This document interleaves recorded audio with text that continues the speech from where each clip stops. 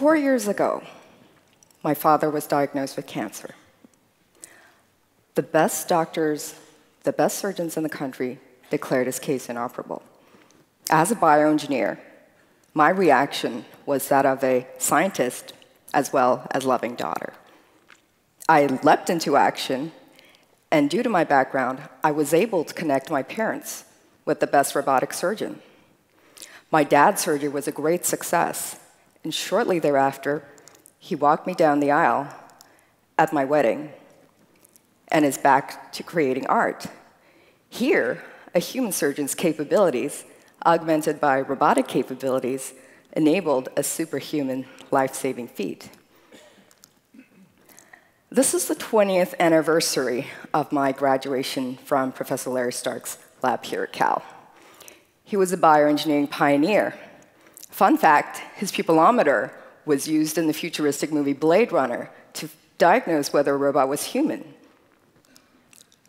In our telerobotics and VR work, we talk about presence as how real an experience feels. Presence, to those familiar with mindfulness, also means awareness of self and body. When I graduated from Cal, I knew I wanted to make an impact. Little did I know that my vision would hit me on such a personal level. I always knew technology could enhance the human experience.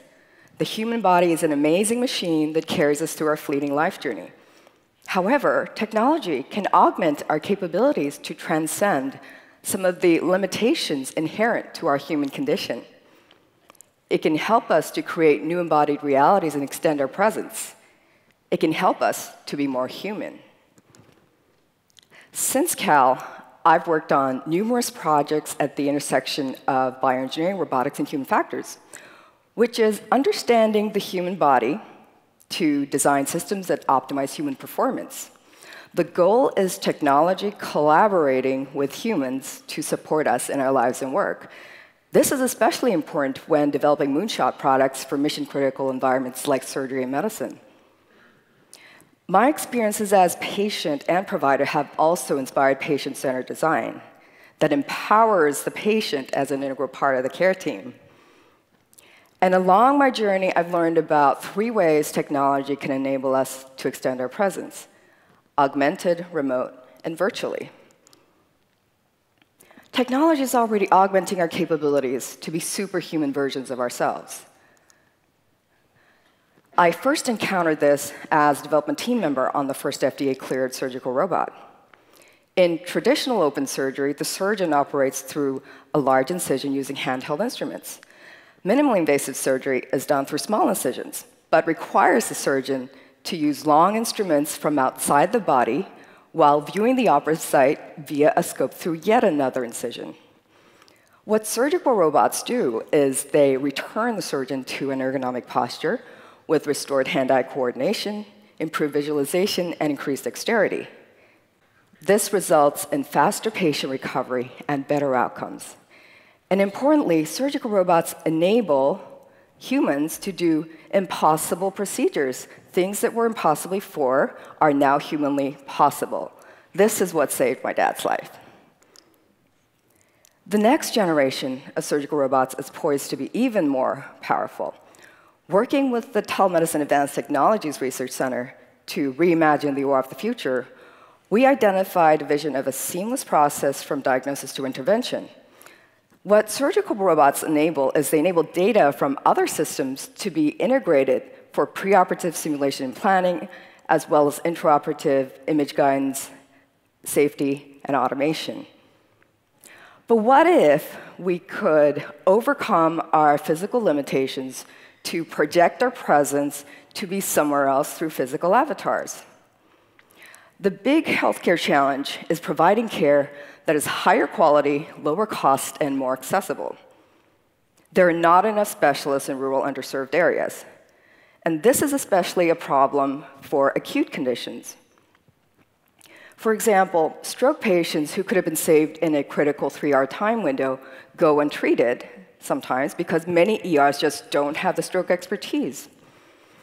During my time at InTouch Health, we created remote presence robots to solve this challenge. These were the first FDA cleared telemedicine robots. They enable remote clinical specialists to deliver acute care consults by connecting via an internet enabled laptop or tablet to a robot at the patient site. Through these robotic avatars, they're able to move, see, hear, interact with the patient, staff, and family as if they were there in person. These robots are now in 1,600 hospitals, 22 countries, 30 clinical service lines, and up to 850,000 consults to date. With this kind of virtual healthcare network, patients everywhere now have immediate, equitable access to the best clinical expertise, regardless of where they live. The ultimate vision was to let the physician focus on the clinical task. So they would just click on the target destination of map to send the robot there. This meant the robot had to be self driving in hospitals these physicians have never even been to, in crowded, dynamic, stressful ED environments. It also had to help maneuver in vulnerable, tight spaces like the ICU, as well as take on routine navigation tasks like rounding. The result was the Vita, virtual and independent telemedicine assistant. Virtual when it's a physical avatar for the physician, and independent when it's navigating by itself. As a bioroboticist, this was a unique opportunity for me to bring to life, from moonshot idea to real clinical impact, the first FDA cleared robot with autonomous navigation. And along the way, I learned a couple of things about humans. As virtual embodiment of the physician, the robot needed to look friendly, approachable, caring, professional. It needed to look humanoid without looking too human. And importantly, it had to be huggable, but not rideable by kids. Bringing a robot to life can almost be like creating a human being. We have a mental model of a place and body senses that help us navigate the world around us. Similarly, a robot has a mental map of a space and sensors that help it detect obstacles in real time and avoid them. It's almost like bringing up a child. We had to teach the robot how to interact not just with objects, but, but with humans, basically social skills. For example, the robot sometimes came too close to people, so it needed to be mindful of personal space, which could be 12 to 18 inches, depending on the cultural context. And if it needed to squeeze past people, it needed to say something like, excuse me.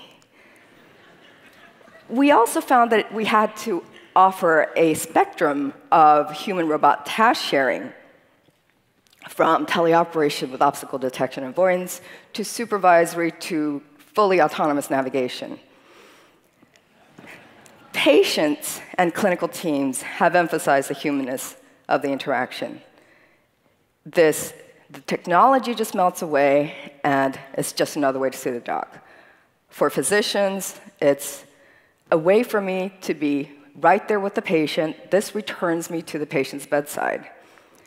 So these robots are actually enhancing the human connection. These kinds of technologies can revolutionize what it means to be present in all aspects of life. Those who are unable to walk, travel, leave their homes can now explore the world freely. Kids who are sick or unable to go to school can now remotely attend and interact with their peers. These insights can also be used to uh, extend human presence not just on Earth, but into space as we explore the moon, Mars, and beyond. Presence can also be extended beyond the real world, overcoming physical and cognitive limitations to project a presence through virtual avatars. With the X Prize and Roddenberry Foundations, I developed concepts for a future X Prize to create transformative technologies using VR that will change how humans interact with one another. Virtual embodiment and avatars can change our perception of ourselves as well as each other, Body agency creates the illusion that a virtual body is ours, even though it may look different. This can be used to address cognitive biases. Furthermore, behaviors experienced in VR can carry over into real life and change our very biology. We can make our imagined body a reality. For example, paralyzed patients who controlled robotic exoskeletons after training in VR saw regeneration of nerve function. While dystopian narratives speculate about machines as existential threats to humanity, the reality is that we are already part cyborg with our contact lenses and pacemakers. We are augmented by technology to transcend some of our human limitations. As every aspect of our lives becomes digitized, the human element becomes even more crucial. Even if an AI can diagnose better than human doctors, we will never lose the need for the human touch, especially when it comes to medicine and our mortality. When people ask me, is that robot my job replacement? My answer is no. This will make your job and life easier. Technology will enable us to focus our time on the things that humans are good at, that only humans can do, the things that make life creative, that make life meaningful. Machines can enrich our human experience. We can create new embodied realities and ultimately make us more human. Thank you.